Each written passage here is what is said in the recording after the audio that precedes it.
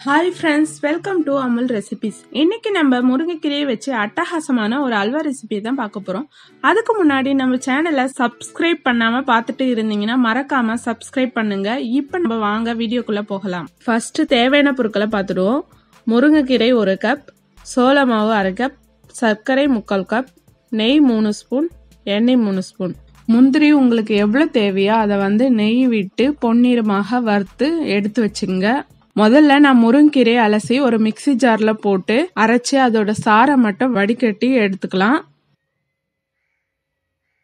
அப்புறம் வந்து ஒரு பவுல் எடுத்துக்குங்க. அலசு வந்து நம்ம சோள மாவு சேர்த்துக்கலாம். நம்ம எடுத்து வச்ச முருங்கைக்கீரை சாறையும் அதுலேயே நல்லா சேர்த்து கிளறி விட்டுருங்க. இதை அப்படியே வந்து நம்ம தனியாக எடுத்து வச்சுக்கலாம்.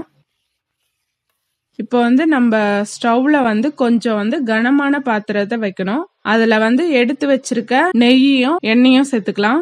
எண்ணெய் வந்து சூடாயிடுச்சு. அதுல வந்து நம்ம சர்க்கரையை வந்து சேர்த்துக்கலாம். சர்க்கரை வந்து நல்லா எண்ணெயோட மிக்ஸ் ஆகிற மாதிரி கிளறி விட்டுருங்க. ஸ்டவ்வை மீடியம் ஃப்ளேம்ல இருக்கட்டும். இப்போ நம்ம மிக்ஸ் பண்ணி வச்சிருக்க முருங்கைக்கீரை சாறையும் சோள மாவோட தண்ணியும் சேர்த்து நல்லா கிளறி விட்டுக்கலாம்.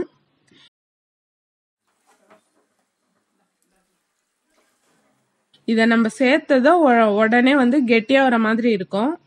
ஆனால் நீங்கள் வந்து அப்படியே கிளறி விட்டுக்கிட்டே இருங்க. கொஞ்ச நேரத்தில் வந்து சர்க்கரை வந்து கரைஞ்சி வரும். அப்போவும் நீங்கள் கிளறி விட்டுக்கிட்டே இருங்க.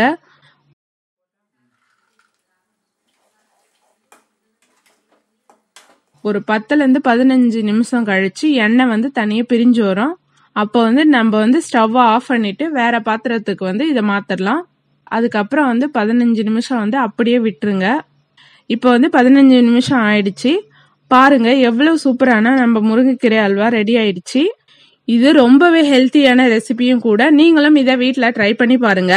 ட்ரை பண்ணி பார்த்துட்டு எப்படி இருக்குன்னு கமெண்ட்ல சொல்லுங்க. இந்த வீடியோ பிடிச்சிருந்தா இந்த வீடியோவுக்கு ஒரு லைக் பண்ணுங்க. இந்த வீடியோவை மறக்காம உங்க ஃப்ரெண்ட்ஸ் ஃபேமிலிக்கு ஷேர் பண்ணுங்க. இது மாதிரி டிஃப்ரெண்டான ரெசிபியோட அப்டேட்ஸ் எல்லாம் உங்களுக்கு உடனே வேணும்னா நம்ம சேனலை சப்ஸ்கிரைப் பண்ணிக்கோங்க. அடுத்த ஒரு நல்ல ரெசிபியில பார்ப்போம். நன்றி வணக்கம்.